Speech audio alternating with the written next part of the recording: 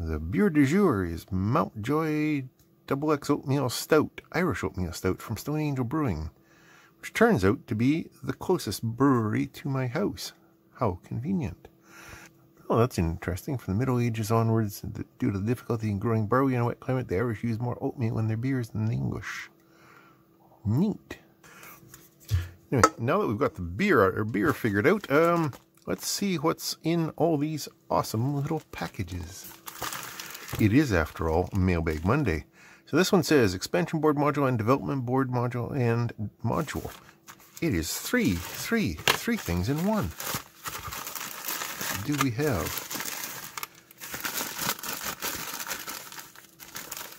Is that everything? Okay.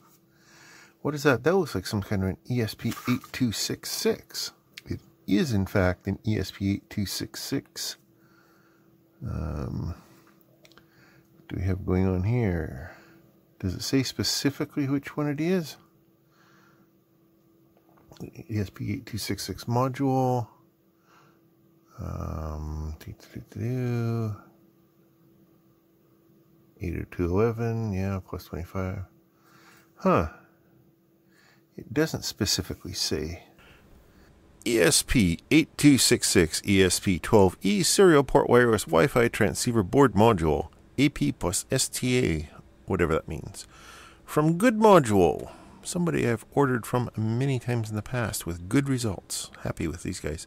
Um, current price $2.06 with 85 cents shipping. Priced in Canadian funds. How nice of them. Um, that's when I bought it, it was uh, $2.50 Canadian with free shipping. And yeah, this is the ESP model or the Dash 12 version. Um, there's a bunch of different uh, versions of the chip. This is, I think, one of the more versatile ones. A good balance of output power and uh, connectivity, built-in antenna, all that good stuff. Anyway, uh, so 2.4 gigahertz, which is you know uh, Wi-Fi, basic Wi-Fi, um, 802.11 BGN, and various different Wi-Fi um, protocols the power amplifier on it is plus 25 dBm, which is more than a watt, I believe. Anyway, the important warning here 3.3 volt supply and logic. Not 5 volt tolerant. If you connect it to 5 volts on an Arduino, you will destroy it. You need a logic converter, which is why I have several of them in a drawer just over there somewhere. Um, anyway, yeah. So it's. Uh, about 300 milliamps, so you got to give it a fair bit of juice to uh, do its magic. That was a good choice. Uh, what else did we get from Good Module? Looks like there's five of those and one of these. Let's see what this guy is. It looks familiar. It's got a bunch of header pins, males and females. That is a Wemos D1 Mini, or at least a clone of it. Um, so what do we have here? So we have, yeah, right there, same module. Oh, not quite. Slightly different uh, shape of antenna. Other than that, it's the same one. But the D1 Mini basically breaks it out to breadboard friendly pins, adds a reset button, um, and adds a USB port and a, what is that, CH340? Yes, it is a CH340, which is a USB to serial converter. So we can program it through there. So let's see what happens if we throw some power onto it. Oh, there is a, that is an LED, okay. So that's a little blue LED there. And nothing's an LED on the back. Blink, no, nothing happens. Push the reset button. Yeah. So that's the only LED on the thing. Okay. I haven't played with uh, the D1 Mini, actually. I think this is the first one that I've got. I've got a full-size one, which is... Uh-oh. Why isn't that coming out? There we go. Um, what was I saying? Oh, yeah. I've got a full one of these, which is the size of an Arduino Uno. Yeah, this one here. And it breaks out the pins all the same as the D1 Mini. Again, see, the same chip. Yeah, yeah. Okay, I'm getting a surprising amount of uh, ESP8266s. And that's also what's in here, just basically one of these guys on a baseboard module. Um, this is the one that most of the people who did that that same project used, uh, the D1 Mini, just because it's convenient for programming. I had to dick around a little bit with programming jumpers, but that's uh, that's neither here nor there. Oh, and about this thing, um, I've heard rumors that YouTube is changing how data is presented to third-party APIs, including I think this one. I don't know, Brian. Uh, if you're if you're watching, uh, maybe chime in in the comments if you're aware of anything, since that was your uh, your library that's uh, that's doing the magic here. But I think YouTube is going to break how this works sometime in the future in August. I don't know. Stay tuned. We'll see. So, also from Good Module, Node MCU Lua ESP8266 ESP-12 Wemos D1 Mini Wi-Fi CH340G Development Board Antenna. Yeah, currently going for 389 Canadian. I paid 369 with free shipping and still free shipping. Good, good. So it looks like they had a different version that had a, an external antenna, but that's not the one I ordered. That's the more expensive one. Um, so 11 digital I/O plus one analog I/O, which is exactly what the ESP12 does. Um, 3.3 volts, yeah. Um, all pins can be interrupts PWM. All this is exactly the same as just what the ESP uh, 8266-12 can do. Okay, let's see what these other guys are. And there's five of them all the same, so that looks like a boost or buck or something like that. Yeah, I'm going to say that's uh, probably an adjustable either boost or buck regulator. Um, an adjustment there and an inductor there, a chip controlling everything there, and very little information on the back except for an in and an out. And also from Good Module in the same package, we have 1 slash 2 slash 5 slash 10 pieces mini 3 amp DC to DC converter step down buck power supply based on the MP2307 chip. Five of them for 289 Canadian. Input voltage between 4.75 and 23 volts. Output voltage anywhere from 1 to 17. Adjustable. Nice. Rated, ah, you cheesy bastards. Rated 1.8 amps or 3, point, or 3 amps peak, but it cannot be prolonged. 96% is the maximum efficiency, switching frequency 340 kilohertz. So I could probably use this for an audio device too, because that's way out of the hearing range. Yeah, 30 millivolts ripple. Yeah, that's a little bit much, but whatever. Um, plus or minus 2.5% regulation. Close enough, I guess. No short circuit protection, no reverse voltage protection. Super mini board. Well, that's already a pretty good mailbag. Oh, let's see what we've got next. Oh, three times DC buck step down regulator converter. Gee, I wonder what's in there.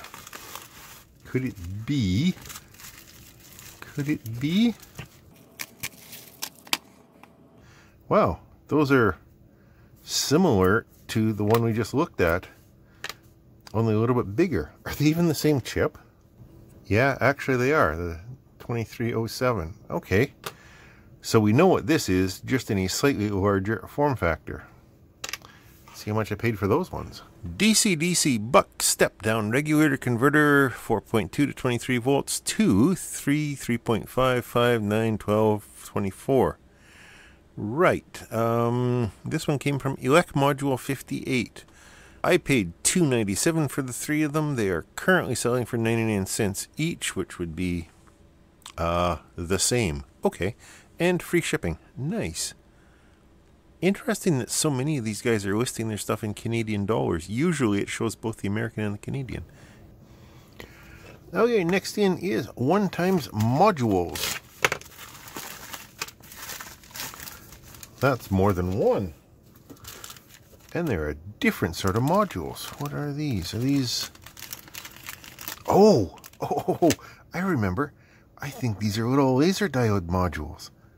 Ah, those should be fun. Let's uh, go check the listing, see what voltage they need, and then we shall play, of course.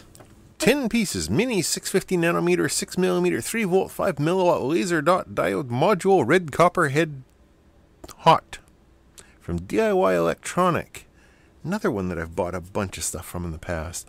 Uh, $2.15 Canadian, buck 64 American for the 10 of them, and free shipping, of course. 5 milliwatts, 650 nanometers. 650 nanometers is the wavelength of the light, aka the color of it, which I think is kind of reddish, if I remember correctly. 650 nanometers. Yes, it is in fact red. Okay. 6 millimeters, 3 volts, less than 40 milliamps, makes a dot good between minus 10 Celsius and plus 40. Okay, so I can't use them outside in the winter, but other than that, they're good. Okay, so let's see if we can light this thing up. So I got 3 volts here. Turn it on. Oh, it's a dot. Why did it stop making a dot? Did I blow it up already? What the hell happened? Oh, duh jankiness. There we go. It's a laser. Laser pointer. Interesting. Uh, where's something white? That'll do. Is that what you would uh, describe as a red? It's not the most focused dot in the world, especially when you get a little bit of distance, but that's not bad. You can definitely hit a uh, photodetector of some sort with that and tell if there's a beam break. You remember way, way back, I made a uh, uh, detector for uh, train cars on a hidden track of my model railroad. I could use something like that just to shine across the track at a photodiode or some sort of photo sensor.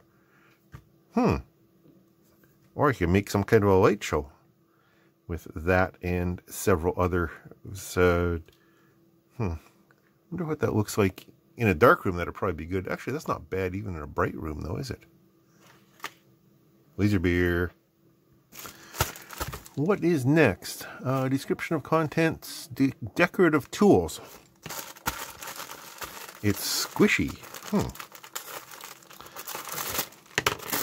I'm going to need a sharp blade on that thing pretty soon.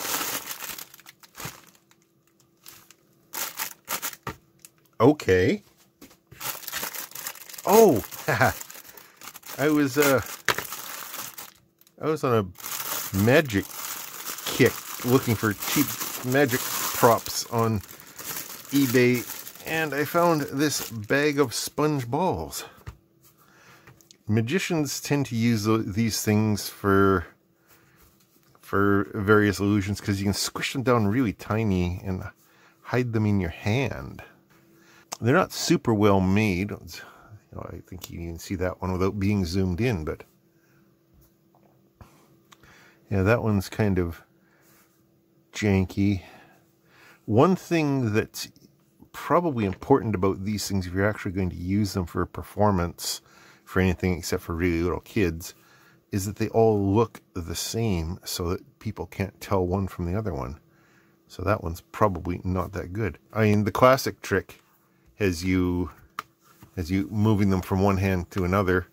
Um, the the spectator ends up with them in their hand, and they think they've only got one, and then you do that, and a whole bunch of them pop out. But you can't really tell. They do squish down really nicely, though. That's cool.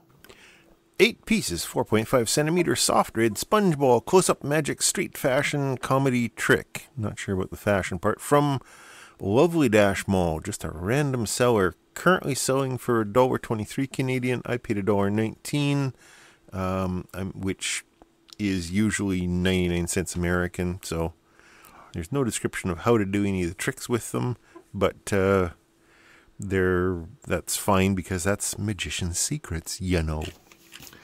And the last thing is LED module. Seems like a thing I might actually order. Except it isn't an LED module.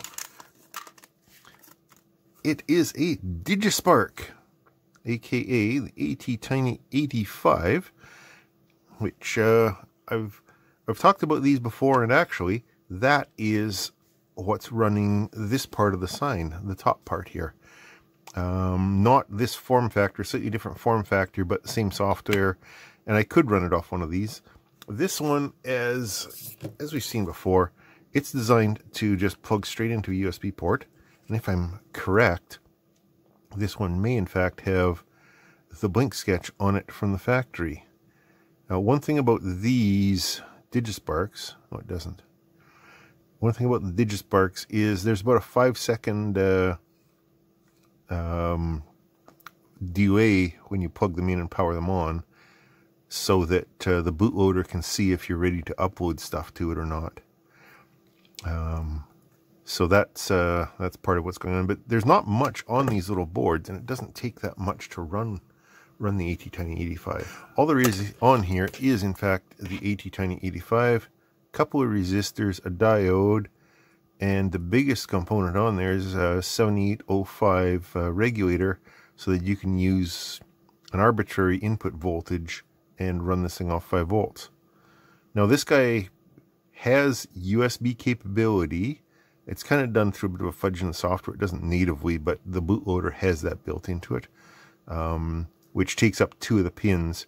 So you got two pins for power, two pins for USB, leaves four pins left for random stuff if you need the USB to be active during your sketch. Or you can use actually all six, well, five, yeah, six of them. One, two, three, four, five, six for various things. I think three of them have PWM on them. One of them can be analog. I think they're it's pretty versatile little chip and cheap too. And in this form factor, really easy to use. Digispark Kickstarter ATtiny85 Arduino General Micro USB Development Board. I wanted at auction for two dollars and ten cents Canadian or a buck sixty um, way back in January from this guy whose name I can't pronounce. Um, but I'm not going to put a link to this closed auction, obviously, because that doesn't help you. I'm going to put a link to just a search term for these things. They're all over the place and they're cheap. As I said, uh, here's basically what's uh, what's going on. It's pretty much the same thing. It's got 8K of flash or 6K with the bootloader on it. It's got I2C and or SPI uh, three pin. Oh, it's got three pins of, uh, of PWM or more with uh, software PWM. It's got an analog to digital converter on four of the pins. Wow, I, would forgotten about that. Um, you can use six pins if the USB is being used, or all eight. And there is all of this week's Mailbag Monday items. A fun little assortment as usual. So the D1 Mini, the ESP, and these little regulators took five weeks to get here. The bag lasers took one month. The Digispark took five and a half weeks. These three slightly larger regulators took five weeks. And these sponge balls took 14 days. The winner! Now, I'm not really sure what I'm going to do with these, though I don't really have an audience for for doing cheap magic tricks. I used to, a long time ago, several years ago, used to be a scout leader and Cub Scout leader, and I'd occasionally throw a cheesy little magic trick at the kids just to amuse and amaze them and surprise them with uh, with things that they didn't expect. But I retired from that a while ago, so I don't really have an audience. Still, they're fun, and they were like a buck. Why not? Anyway, thanks for watching. Um, Thanks to my Patreon supporters for uh, helping me finance this silliness. I really do appreciate it. And I noticed I got a, a new one, a new uh, supporter just after the last mailbag. So thank you for that. Um, thanks to the rest of you, everybody, for watching. I really do appreciate that. And comments, questions, etc., etc., down at the bottom. And thanks to Stone Angel Brewing for making such a cool beer. I like it. Bye, everybody. Talk to you later.